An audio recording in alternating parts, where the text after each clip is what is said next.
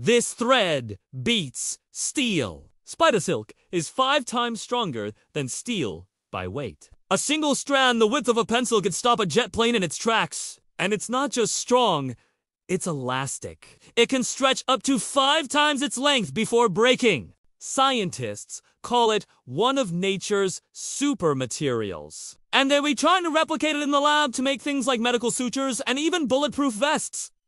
But nature made it first. And it's a wonder that we're only just catching up now. There's more to know about spiders and their silk. Did you know that some spiders can sense danger through vibrations in their silk? When a fly lands on a web, it causes the silk to vibrate at a certain frequency. And the spider, being a good listener, can tell exactly what kind of insect it is, how big it is, and even how fast it's moving. With this information, the spider knows exactly how to wrap up its prey before it becomes a meal.